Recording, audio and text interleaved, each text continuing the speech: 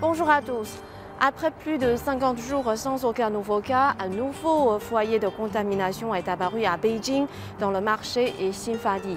Plusieurs dizaines de cas ont déjà été découverts, mais après la peur de février, l'angoisse de mars, l'espoir d'avril et la joie de mai, tout le monde est plutôt calme et sait quoi faire. D'abord, il faut contrôler la chaîne de transmission.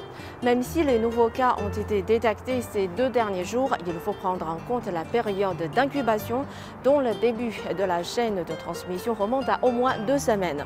C'est pour ça qu'à Beijing, il a été demandé à toute personne s'étant rendue dans ce marché de se déclarer auprès des autorités de quartier pour se faire tester. C'est une bonne initiative. Quasiment tout le monde a reçu des informations sur WeChat via des groupes de quartier, de travail ou de parents d'élèves. Tout ce qui peut être mobilisé a été mobilisé. Je pense que la situation pourra être très rapidement contrôlée. Il faut aussi mettre l'accent sur les investigations pour identifier l'origine des contaminations. Le virus a été retrouvé sur des planches servant à découper du saumon importé. Or, des scientifiques anglais avaient par le passé prouvé que le virus infecte très difficilement les poissons, les oiseaux et les reptiles. Donc, on peut euh, supposer que ce ne sont pas les saumons qui sont les responsables de la contamination, mais les personnes les ayant euh, manipulés. En Chine, le saumon est quasiment toujours importé et la chaîne du froid nécessaire à la conservation des poissons permet au virus de survivre plus longtemps. Donc, il est très probable que le virus soit entré à Beijing de l'étranger euh, via la chaîne du froid. Avec plus de 50 jours sans aucun nouveau cas et un contrôle strict des cas apportés, Beijing était redevenu un environnement propre. Mais l'apparition de ce nouveau foyer nous prouve que le risque de transmission du virus par des aliments qui passent par la chaîne du froid existe bel et bien.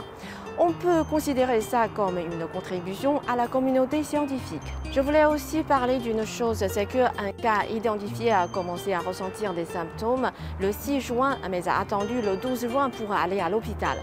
Il a attendu une semaine. Ça veut dire qu'il y a quand même des failles dans notre système de prévention et de contrôle. Lorsque les premiers symptômes sont apparus, la personne n'est pas tout de suite allée se faire tester, donc elle n'a pas été diagnostiquée et mise en quarantaine tout de suite et on a perdu un temps précieux. J'espère que plus de gens comprendront que contracter le coronavirus n'est pas un crime. Ce n'est pas leur faute et que pour leur santé et celle de leur famille, il ne faut surtout pas attendre avant d'aller à l'hôpital s'ils ont des symptômes. Je voudrais finir en parlant de la mesure la plus importante de Chine contre le coronavirus, la gratuité des cliniques pour fiévreux pendant un an pour encourager les malades à se rendre à l'hôpital le plus tôt possible. Dans toute la Chine, c'est en moyenne 200 000 personnes par jour qui sont reçues dans ces cliniques, soit un peu plus de 70 millions par an. Si l'on compte 100 yuan de frais médicaux par personne, alors c'est 7 milliards de yuan par an.